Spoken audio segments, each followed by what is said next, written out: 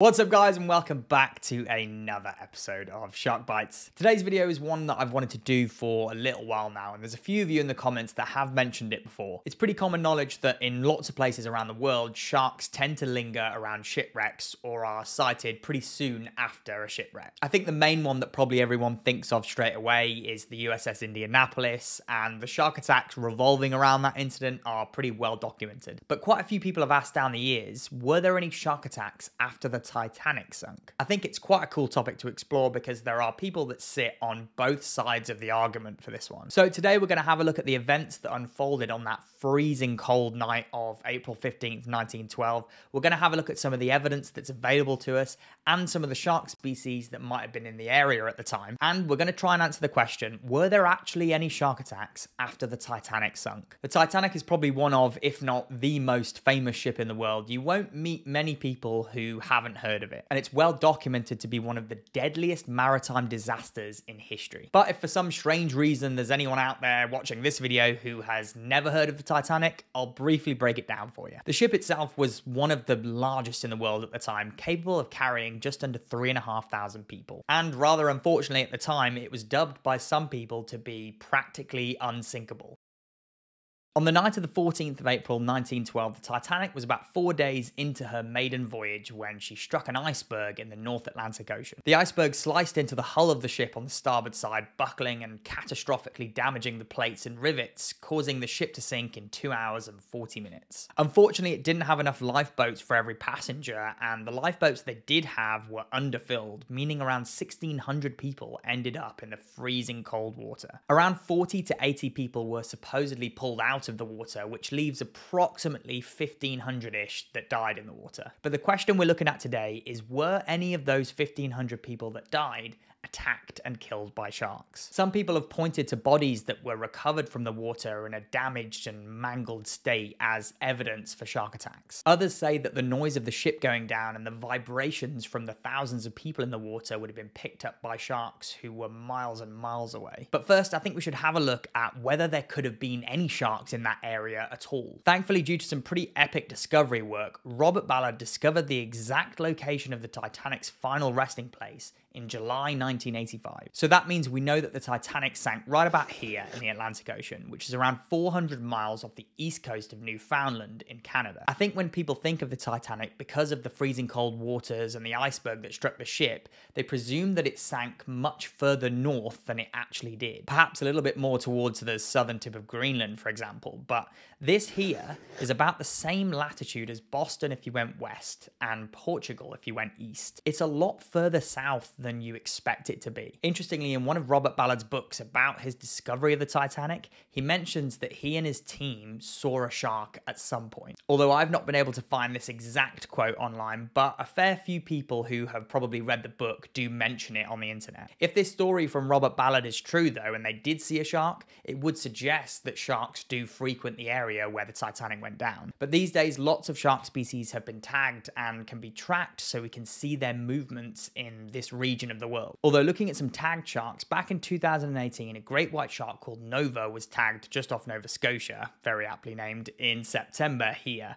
And then he was again sighted in the same area a year later. And then there was another white shark called Mahone that was tracked off the Frankfurt Seamount, which is here in May 2022. If you look at the distance between those two locations, i.e., the final resting place of the Titanic here and Mahone the white shark here, it's really not that far. Although importantly here, we've got to have a look at the time of year. Robert Ballard discovered the Titanic in July 1985, which means the shark that he and his team supposedly saw would have been swimming around those waters in the summer. Generally, the white sharks that wander up into those Canadian waters do so in the summer months when the water is at its warmest. Yes, there are occasional exceptions to the rule, but this is the general pattern. The temperatures here at this time of year range between 10 degrees Celsius and 22 degrees Celsius, which is just about within the tolerable temperature range for great white sharks. So if the Titanic had sunk in 2022, then I think I could sit here comfortably and say to you that great white sharks could have been around the sink site. But the Titanic didn't sink in 2022.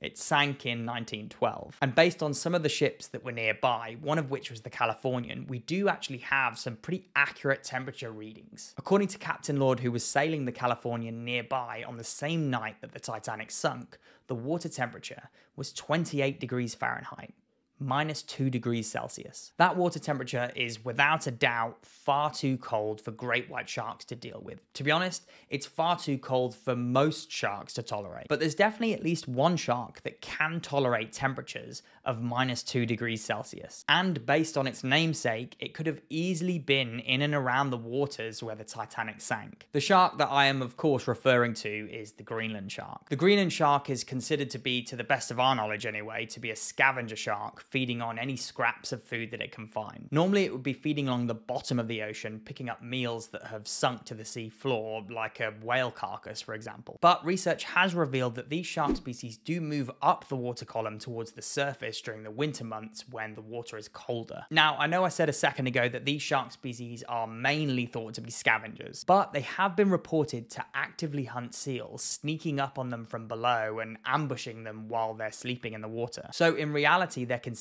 to be both scavengers and occasionally active hunters. To date, there have been no confirmed recorded attacks from Greenland sharks on humans, apart from one incident in 1859 when a Greenland shark was supposedly found with a human leg in its stomach. Although at the time, this wasn't scientifically investigated or corroborated by anyone else. Now, just because there's been no official confirmed report of a Greenland shark attack on a human, it doesn't mean it hasn't happened ever before. It just means it's never been confirmed. So the Greenland shark is a shark species species that I believe could have and would have been in the area at the time that the Titanic sank. Okay, right, now we're going to have to take a look at some of the eyewitness accounts from people who survived the incident. Looking across a fair amount of eyewitness reports and reading into other investigators' accounts of those who survived the incident, not a single person mentions anything about a shark or shark attacks. It does have to be said, I suppose, that those who managed to get into the lifeboats were a fair whack of distance away from those people who were splashing around in the water. I think I read that the closest lifeboat, which was lifeboat number four, was about 50 meters away from those in the water. And at night time, in the pitch black after the ship had lost its power and everything was thrust into darkness, even at 50 meters distance,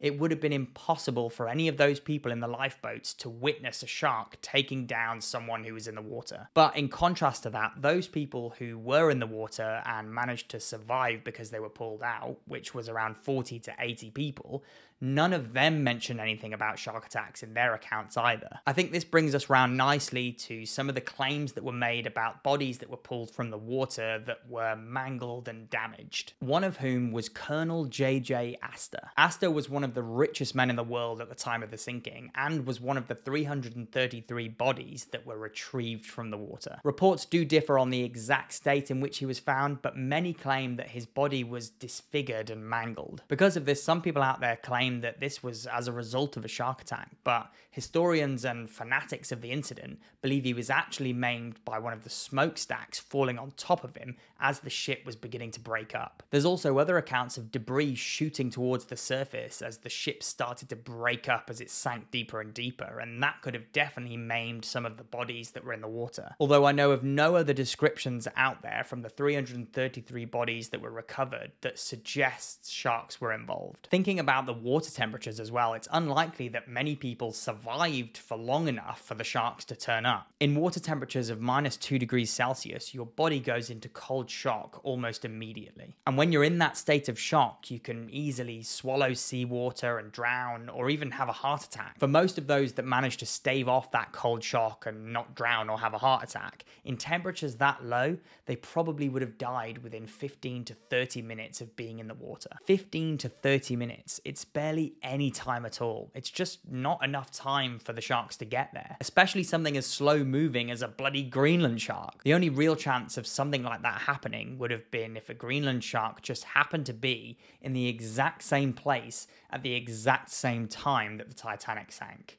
Not impossible, but pretty unlikely. Considering all this though, as those bodies began to drift around the North Atlantic in the currents or sink to the sea floor, I would say it's entirely possible that some were scavenged on by sharks. Currents could have taken the floating bodies 50 to 100 miles away from where the Titanic actually sank, whereby any marine scavenger could have fed on them. And the same could be said for the bodies that sank pretty close to the Titanic's final resting place. Marine scavengers like lobsters, crabs, hagfish, marine worms all would have consumed the dead. And the chances of one of those scavengers being something like a Greenland shark is pretty likely. You only have to take a quick look at a whale fall to see just how many marine species will capitalize on that food item. As to there being shark attacks while the people were still alive and splashing around in the water, although we can't say it for 100% certainty, based on the evidence that we have and the ocean temperatures that night, I would say it is highly unlikely that there were any shark attacks. But like I said before, opportunistic feeding events from scavenger sharks in the days, weeks, and months after the Titanic sank probably happen. In the ocean, especially one like the North Atlantic, food can be pretty scarce, and many of the animals that live there will eat whatever they can to survive. Scavenger predators are everywhere and are in all the oceans, and will rarely pass up on the opportunity for an easy free meal. I think a pretty interesting thought here is, though, is that if there were scavenging attempts from Greenland sharks on this night, based on how long this species lives for, those individuals that did that would still be alive today. Right, okay, that's enough rambling for me on this topic then today. If you guys wanted a TLDR based on the title, then my answer is no. Probably. What do you guys reckon went down on that night then? Were there any shark attacks after the people went in the water from the Titanic? Let me know all your thoughts in the comments. As always, if you did enjoy this video, please do give it a like and don't forget to subscribe to the channel if you haven't done so already. But if you were after a video about shipwreck where there were shark attacks, then you should definitely click on this video right here. In that video, I go in depth into the sinking of the USS Indianapolis during World War II. In it, you'll hear my thoughts on just exactly how many shark attacks there were for that incident and we get to the bottom of why the sharks attacked in the first place. So make sure you click it here.